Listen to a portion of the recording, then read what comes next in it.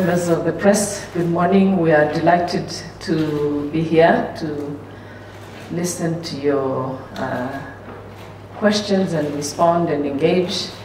Uh, we're very happy to have received uh, uh my uh, colleague and friend, the Foreign Minister of, uh, of Belgium. As you know, Belgium is, um, is a close partner of Rwanda. Uh, Belgium shares a strong history with, uh, with Rwanda.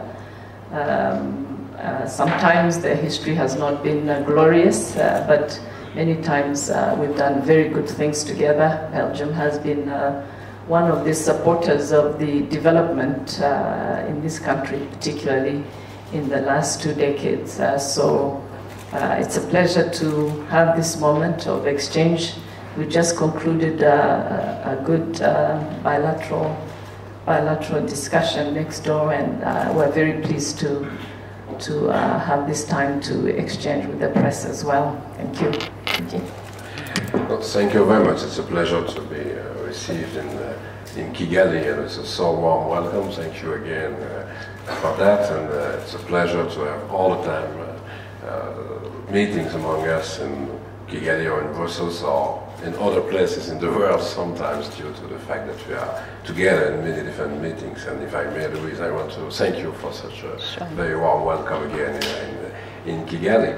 Uh, I, I, will have it, I've had uh, other uh, meetings because we have decided at the beginning of last year to organize a very large bilateral consultation, so I will have the chance again to uh, have a meeting with the Minister of Justice or with Minister of Culture and Sport, and it will be very interesting to exchange on uh, different bilateral uh, uh, proposals and, uh, and issues. But just to say a few words on three, four items. The first one, the political dialogue, because it's important to us to follow the situation in the region.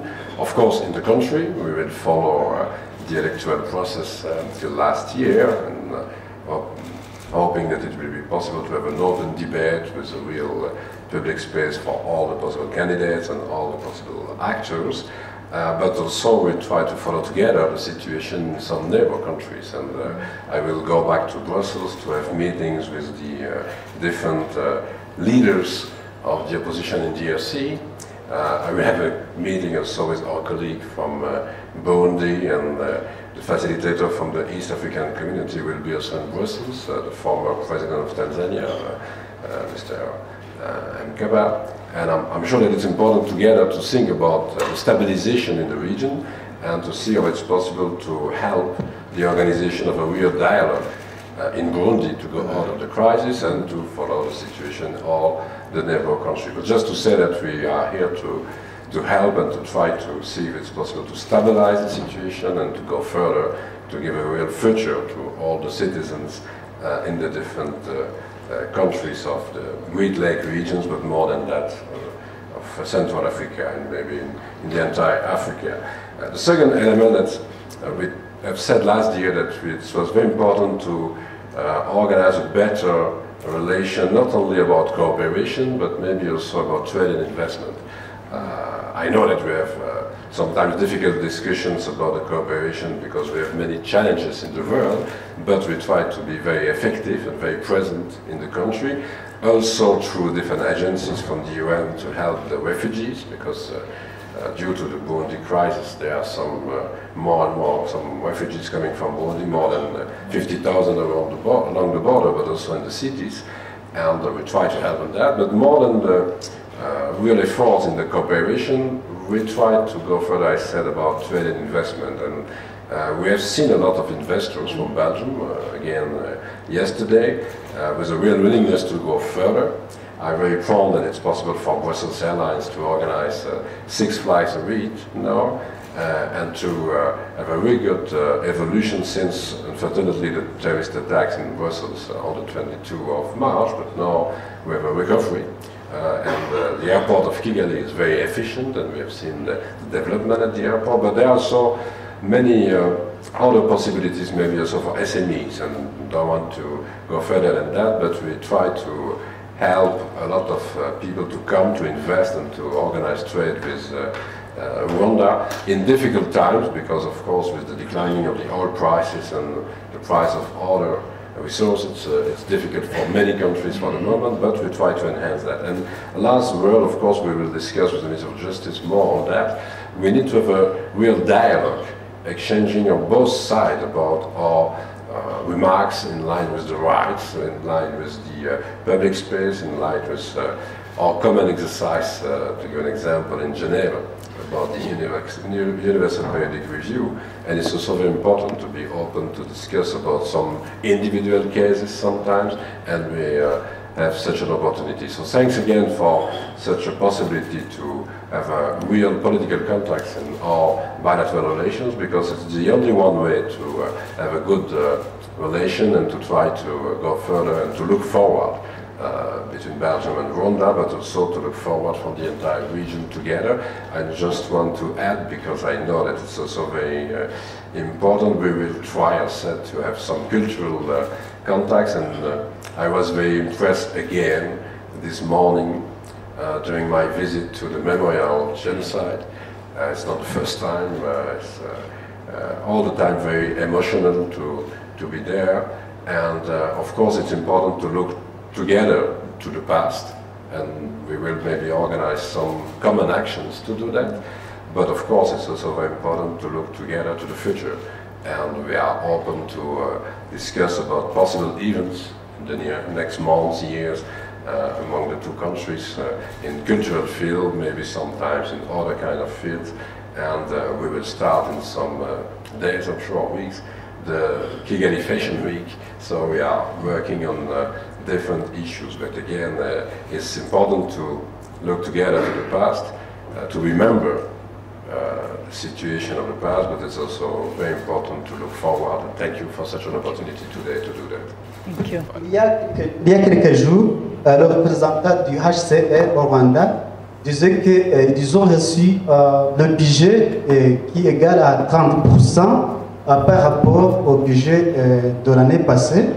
Euh, pour les réfugiés burundais qui sont ici au Rwanda. Euh, comme la Belgique, un pays colonisateur du Burundi qui a des lieux avec ce pays, qu'est-ce que vous envisagez faire pour que euh, les, budgets augmentent, pour que les, programmes dans le camp de Mahama ne, ne s'arrêtent pas? Merci. Deux, ou trois éléments simplement, juste pour resituer euh, dans le temps. J'ai participé il y a quelques années à la commémoration du 50e anniversaire de l'indépendance du Burundi. Donc je pense qu'il faut regarder les relations avec le Burundi dans ce cadre-là aujourd'hui. Euh, c'est important de, le souligner. La deuxième chose, l'année dernière, euh, il y a déjà eu des problèmes de financement pour l'aide notamment alimentaire. Et j'ai rencontré hier euh, les représentants de UNHCR, mais aussi euh, du Programme alimentaire mondial, le l'UNICEF, des autres partenaires présents euh, ici au Rwanda pour aider les réfugiés burundais. Et l'année dernière, c'est la Belgique notamment qui a libéré des aides d'urgence pour permettre de continuer dans de bonnes conditions de fournir l'aide alimentaire. Donc nous allons être très attentifs cette année aussi à ce qu'il y ait une vraie capacité pour l'ensemble des, des, agences présentes de fournir des services de base à l'ensemble des réfugiés burundais, mais euh, pas seulement sur le plan alimentaire, il y a aussi un vrai travail d'éducation qui se fait, et je voudrais d'ailleurs saisir l'occasion pour dire que je suis particulièrement impressionné de voir que l'on a au Rwanda aujourd'hui la plus grande école pour 15 000 euh, jeunes euh, qui se rendent dans, ces écoles dans le cadre des, des, camps de réfugiés, mais nous avons même la première université, malheureusement, je dirais, puisque ça signifie qu'il y a des jeunes qui font tout leur parcours jusqu'à l'université, mais nous aidons aussi dans ce domaine. Et enfin, dernière remarque, si nous travaillons ensemble pour une solution politique au Burundi, c'est parce que nous pensons que la meilleure solution, et le plus tôt sera le mieux, c'est que les réfugiés burundais puissent rentrer au Burundi. Ce sera la, meilleure réponse en matière de, de, crise euh, comme nous la connaissons. Mais nous allons être très attentifs, comme l'année dernière, à faire en sorte qu'il y ait une aide qui puisse être fournie de, manière suffisante aux réfugiés. Deuxième question à Stéphanie.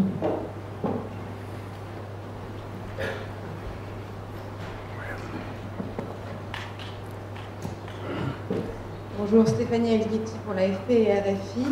Alors, euh, Monsieur le ministre Renders, vous dites que vous êtes venu ici pour aider à, résoudre la crise au Burundi. Vous avez rencontré le facilitateur.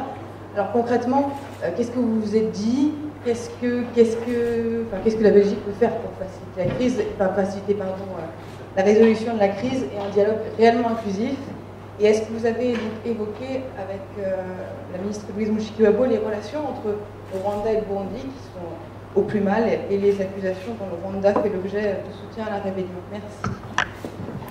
Nous avons évoqué ensemble, effectivement, les accusations dont euh, font l'objet non seulement le Rwanda, mais aussi parfois la Belgique. Donc on a un peu euh, l'habitude de devoir réagir à ce genre de choses, et c'est vrai qu'on essaie de voir dans quelle mesure euh, on peut échanger au, mieux en, la matière. Nous l'avons fait encore ce matin, puis on a eu l'opportunité aussi d'en parler déjà hier.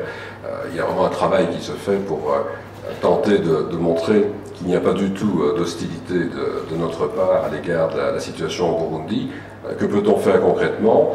Euh, Je reviendrai sur ce point demain avec notre homologue burundais qui sera à Bruxelles, donc j'aurai de nouveau un, entretien avec lui, parce que nous avons toujours gardé le contact entre ministres des Affaires étrangères pour justement éviter ce genre de, dérapage. Il y en a eu un certain nombre de critiques très fortes, mais on essaie de garder le contact et de, de faire en sorte d'avancer dans le dialogue. Alors que pouvons-nous faire, comme vous disiez, au-delà de cela? Convaincre d'abord tous les partenaires burundais d'entrer dans ce dialogue, euh, ce que nous faisons notamment avec un certain nombre d'opposants qui se trouvent aujourd'hui à, Bruxelles. Euh, le facilitateur sera à Bruxelles également et va rencontrer notamment les membres du SNARET. Je crois que c'est important qu'il y ait une capacité de discuter avec tout le monde. Euh, c'est la première des choses. Et puis au-delà de cela, nous allons euh, aider à la définition de, propositions concrètes. On sait que les, points de vue sont évidemment très opposés, euh, sinon nous ne serions pas dans la crise telle qu'on la connaît aujourd'hui. Mais on voudrait pouvoir, comme c'est le cas aux Nations Unies d'ailleurs, proposer un certain nombre de mesures pour protéger la population, dans quelle mesure des opérations de, police pourraient être organisées. Ça se discute au sein de l'East African Community, ça se discute aussi au, sein du Conseil de sécurité. Euh, et puis comment mettre sur la table un certain nombre de propositions de sortie de crise en rapprochant les points de vue. Mais la première préoccupation, c'est ce que nous sommes surtout dit avec euh, le facilitateur, euh, l'ancien président Mkapa, c'est comment avoir tous les participants autour de la même table ou autour de plusieurs tables s'il le faut au début. Je crois qu'il est vraiment très déterminé à, avancer dans, cette voie. C'est la raison pour laquelle euh, il vient à Bruxelles dans les prochains jours et il va euh, à nouveau prendre des contacts directs pour, tenter d'avoir ce qui est la première des, des, nécessités, la liste de l'ensemble des participants et entamer réellement le, dialogue. Vous savez, moi je, l'ai dit tout à l'heure dans nos contacts bilatéraux, je suis optimiste de nature, donc n'en tirez pas de, de conclusion. Mais c'est vrai que pour l'instant, il y a quelques signaux un peu positifs. Alors il faut tenter de les, utiliser au mieux. C'est ce que le facilitateur fait, c'est ce que nous faisons aussi, en amenant euh, toutes les parties euh, burundaises à reprendre une discussion. J'ai toujours utilisé la même formule. Pour moi, ce n'est pas tellement le texte d'Arusha qui est l'élément déterminant, c'est l'esprit. C'est de faire en sorte qu'on sorte de la crise au Burundi par un dialogue entre Burundais. Et ça, c'est ce que nous essayons de mettre le plus possible en place. Ce n'est pas à nous euh, de trouver l'ensemble des solutions, ce sera aux Burundais eux-mêmes, mais on peut aider à faire en sorte que tout le monde participe à ce dialogue. hard to see you. How does the uh, Rwandan government feel about the fact that um, the Belgian government links its bilateral uh, cooperation mm. um, with openness, also political openness, and with the referendum and mm. President Kagame mm. being able to run for a third term? This may create a problem. 40 million euros have already been uh, withheld uh, because the Belgian government decided that there was a lack of openness. Mm. How do you see this evolution? Mm. Uh, thank you. Um, first, I think uh, the question is probably one year old. Uh, I'm not aware of any withholding of any Belgian money uh, at this point. but but I think it's important to understand how aid functions. Uh, aid is not charity. Aid uh, is, is uh, um, linked to a relationship of uh, uh, countries offering support with their taxpayers' money uh, to, to other countries. Um, now, that said, Rwanda's position is not to remain perpetually um, a country that receives aid. Um, in the relationship between the donor countries and the receivers, uh, there's some kind of agreement on how aid uh, should be dis- uh, dispersed. Uh, these are agreements that both sides, um, you know, put together and agree on. Um, but it, that does not mean that um, the receiving countries and the aid providing countries uh, have to be in agreement 100% on everything, uh, particularly on politics, uh, because politics uh, is, is, is mostly a sovereign and national matter that is not necessarily going to be um, accepted in terms of decisions uh, by other countries. Uh, but the most important thing I want to say about Belgium is that um, in terms of uh, development aid, uh, Belgium has done very well in Rwanda uh, for many years. Um, and whatever political issues that are around uh, the, this covenant, this agreement between our two countries, uh, we see no issue that cannot be resolved uh, between our two countries. So the fact that um, aid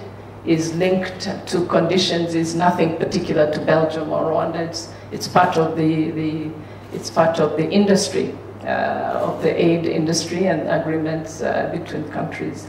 But uh, the good thing with uh, the kind of dialogue that we are having here in Kigali today is that whatever uh, disagreements or issues that arise between our two countries, uh, we're capable of resolving them or at least reaching some level of understanding. Thank you. La situation au Congo devient de plus en plus inquiétante et ici je parlerai du, du climat électoral. J'aimerais savoir qu'est-ce que vous êtes convenus faire ensemble pour que la situation ne devienne pas une crise comme celle que nous voyons au Burundi. Merci.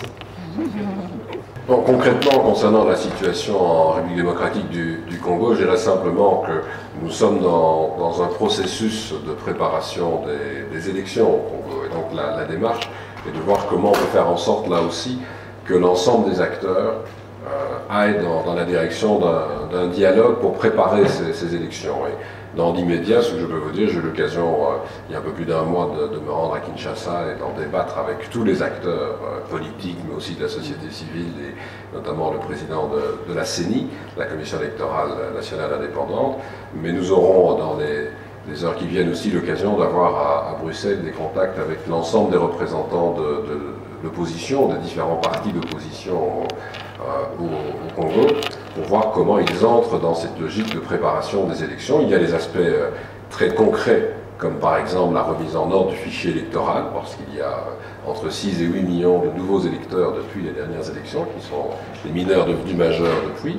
Et puis il y a alors les, débats à avoir sur le calendrier des élections et sur les types d'élections à, tenir. Mais nous sommes en train de, de discuter de cela le plus souvent possible avec nos, partenaires au, au, Congo, tant du côté des autorités gouvernementales que des formations d'opposition, que des responsables des institutions en charge des élections. De nouveau, je pense à, à, la CENI. Et donc je pense que nous travaillons de la même façon, dans, dans le même sens. Au-delà, on est évidemment très attentif à la situation euh, sécuritaire dans l'est du Congo, mais il est évident qu'il y a eu d'énormes progrès euh, ces derniers temps, mais ça nécessite encore une attention très forte concernant un certain nombre de, groupes armés toujours présents, euh, que ce soit les FDLR ou que ce soit ADF Nalou dans la région de, de Beni. Il y a une volonté d'agir avec la MONUSCO, avec les forces armées congolaises, contre ces, ces, forces négatives, comme on les appelle dans la région.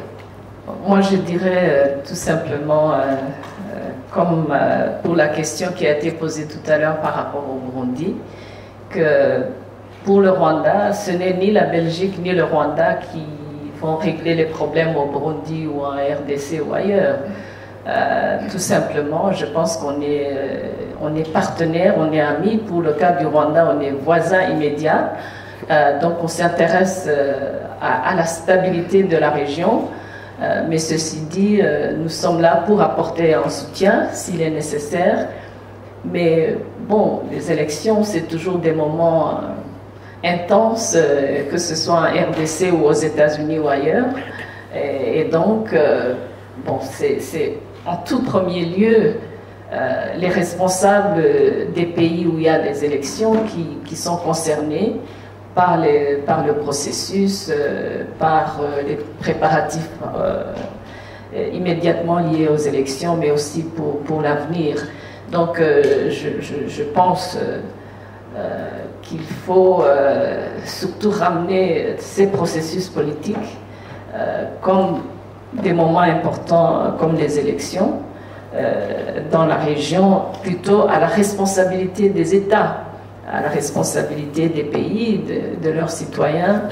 Et donc, le Rwanda n'est pas du tout partisan d'une politique électorale gérée par plusieurs pays. Nous sommes tout simplement un pays ami et voisin de la RDC nous sommes prêts à, collaborer avec nos frères et sœurs de la RDC pour la stabilité de leur pays et de notre pays et de la région. Donc, tout ce qu'on peut faire, c'est d'apporter un soutien. Mon, collègue, le ministre Renders, a bien dit, il fait des rencontres à Bruxelles, il fait des rencontres dans la région. Nous, nous sommes en dialogue permanent avec nos collègues de la RDC et de la région, mais en réalité, c'est des processus et, c'est surtout la responsabilité des pays eux-mêmes. Et nous sommes là euh, pour contribuer euh, si et quand nécessaire. Voilà, merci. Uh, with your permission, we'll take the last two questions for this press briefing. Uh, the gentleman from Belga, then uh, we have one question. Oui, Gérard Godin de Belga. Donc, Bruxelles Airlines aura prochainement la possibilité d'effectuer six liaisons hebdomadaires. Euh, à partir de quand? Et alors, est-ce qu'on peut envisager un jour, quand on voit le, développement de Rwandais, une, une oui, c'est ça, c'est pour ça que j'avais une hésitation, euh, mais c'est déjà le cas depuis, enfin c'est le hasard que ce soit six semaines, mais il y a déjà six fréquences euh, aujourd'hui, donc c'est la raison pour laquelle il y a un développement en plus, je l'ai dit, qui est impressionnant maintenant, puisque il y a eu une perte probablement de près de 25% d'activité au moment de la fermeture de l'aéroport. Euh, et on est revenu presque à, la normale, il y a peut-être encore une dizaine de pourcents sur base annuelle, mais un retour à la normale est, assez prévisible, et notamment parce qu'il y a eu l'ouverture de cette euh, sixième fréquence. Euh, pour le reste, les discussions sont en cours, je pense, avec le, département de la mobilité sur la manière d'organiser la, réciprocité. Étant une voyageuse régulière et satisfaite euh, des réseaux qui existent euh, à partir de Kigali euh, vers Bruxelles, mais aussi vers l'Europe et le reste du monde. Ce serait avec grand plaisir que je, je monterai à bord de Rwanda Air en direction de Bruxelles. Je sais que nous attendons dans quelques mois nos premiers appareils long courrier euh, de Rwanda Air, euh, je crois un des premiers Airbus qui va faire euh, la liaison à partir de Kigali vers l'Europe ou et les États-Unis. Donc, pourquoi pas? Pourquoi pas un Airbus Rwanda Air de Kigali à Bruxelles? Puisqu'on parlait tout de suite des élections au Congo et de la situation sécurité qui prévoit, qui risquerait de, de dégénérer en chaos, Récemment, euh, le secrétaire général du parti de la majorité présidentielle a évoqué une éventualité d'un référendum calqué sur le modèle rwandais ou du Congo-Brazzaville, ce qui serait un peu contraire au calendrier électoral qui n'a fait que trop piétiner. Et tous les deux ministres, vous avez évoqué une éventualité, du plutôt une disponibilité à apporter un soutien au processus électoral au Congo. Dans le cadre des référendums, dans ce sens, seriez-vous prêt à apporter un soutien au détriment du calendrier électoral? Merci. Euh, moi, je ne me place pas dans une situation de chaos en République démocratique du Congo et je ne réagis pas à des choses qui ne sont pas proposées. Euh, je n'ai pas vu de propositions concrètes qui soient déposées y compris sur le plan constitutionnel. Donc ce que nous faisons aujourd'hui, et je voudrais euh, répéter vraiment ce que ma collègue a, évoqué, c'est aider un processus interne. Il appartient euh, aux responsables congolais de définir la manière dont les choses vont se dérouler, et il appartient de le faire entre eux, comme nous tentons de voir effectivement comment il est possible pour des responsables burundais de sortir d'une crise entre Burundais dans un dialogue entre Burundais. Donc voilà, ce que nous faisons maintenant, c'est vraiment tenter d'aider à, la mise en place du processus électoral et de, la, procédure qui permet de respecter les textes constitutionnels actuels. Mais pour le reste, vous me reposerez la question si une des hypothèses que vous évoquez venait à se réaliser. Mais je n'ai pas l'habitude de, me projeter dans l'avenir en fonction de, situations qui n'existent pas qui n'existent pas encore et qui, je l'espère, n'existeront jamais dans le futur. Je ne dirais pas beaucoup plus, euh, tout simplement euh, pour rappeler que le référendum qui a eu lieu au Rwanda l'année dernière était un processus voulu par les citoyens rwandais euh, qui ont travaillé de très près avec notre Chambre des députés, et puis euh, en conformité avec la Constitution euh, en place euh, l'année dernière. Et donc, on n'est pas du tout titulaire du système de référendum. C'est un processus qui existe dans différents... C'est un choix politique qui existe, qui est là. On n'a pas du tout la monopolie sur euh, le référendum. Et encore une fois, euh, nous souhaitons que du bien à, nos frères euh, et voisins congolais dans les décisions qu'ils prendront en tant que pays, pays souverain. Et si on est sollicité pour apporter une aide dans le processus, encore une fois, nous sommes intéressés par un Congo stable, une région stable et, donc, euh, si on est sollicité pour euh, faciliter en quoi que ce soit, ben, on va examiner avec euh, nos collègues congolais, mais bon, on n'a pas, pas le monopole du référendum, mais, s'il y a des pratiques qui sont bonnes, qui existent, pas seulement au Rwanda, mais ailleurs, pourquoi pas si c'est la décision souveraine des pays Merci.